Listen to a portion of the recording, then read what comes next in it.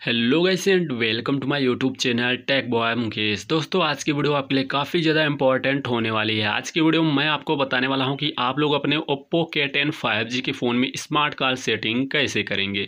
दोस्तों, सबसे पहले आपको अपने फ़ोन में सेटिंग ओपन करना है। सेटिंग ओपन करने के बाद आप लोगों को यहाँ पर स्क्रोल डाउन करना है, नीचे आना है। नीचे आने के बाद यहाँ पर एक ऑप्शन देखने को मिलेगा कन्वेंस टूल का। कन्वेंस टूल के ऑप्शन पर आपको क्लिक करना है। क्लिक करने के बाद यहाँ पर बहुत से ऑप्शन आपको देखने को मिल जाते हैं। यहाँ पे आप लोगों को गेचर एंड मोशन का ऑप्शन देखने को मिल जाएगा। इस पर आप लोगों को क्लिक कर देना है। जैसे ही आप लोग गेचर एंड मोशन के ऑप्शन पर क्लिक कर देते हैं क्लिक करने के बाद यहाँ पे बहुत से ऑप्शन आपको देखने को मिल जाते हैं।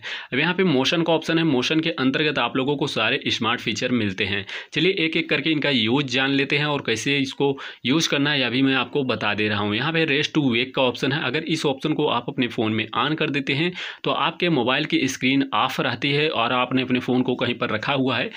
जैसे ही आप अपने फ़ोन को अपने हाथ में लेंगे, तुरंत आपकी स्क्रीन ऑन हो जाएगी। आप अपने स्क्रीन पर टच भी नहीं करेंगे, तब भी आपकी स्क्रीन ऑन हो जाएगी।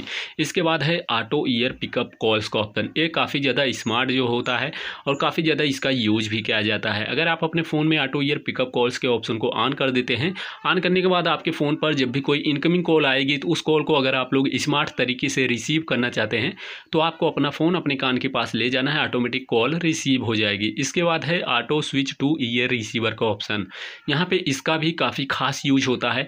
अगर आप अपने फ़ोन में auto switch to ear receiver के ऑप्शन को ऑन कर देते हैं और आप फ़ोन पर बात कर रहे हैं, वो भी अपने फ़ोन को हैंड फ्री आपने कर रखा है। लेकिन जब आप अपने फ़ोन को अपने कान के पास ले जाएँगे ऑटोमेटिक आपका फ़ोन हैंड फ्री से हट जाएगा रिसीवर मोड में चला आएगा। इस तरीके से आप स्मार्ट तरीके से hand free to receiver mode में कर सकते हैं। अब इसके बाद दोस्तों लास्ट में है flip to mute incoming call flip to mute incoming call के ऑप्शन को अगर आप अपने फ़ोन में ऑन कर देते हैं तो आपके फ़ोन पर जब भी कोई इनकमिंग कॉल आती है, अगर आप उसको म्यूट करना चाहते हैं तो आपको अपना फ़ोन फ्लिप कर देना है, उल्टा कर देना है, तुरंत वह कॉल इनकमिंग कॉल म्यूट हो जाती है। तो दोस्तों, ये थे सारे स्मार्ट फीचर और स्मार्ट कॉल के सारे फीचर ये हैं। अगर आपको वीडियो पसंद आए तो वीडियो को लाइक और चैनल को सब्सक्राइब ज़रूर करिए।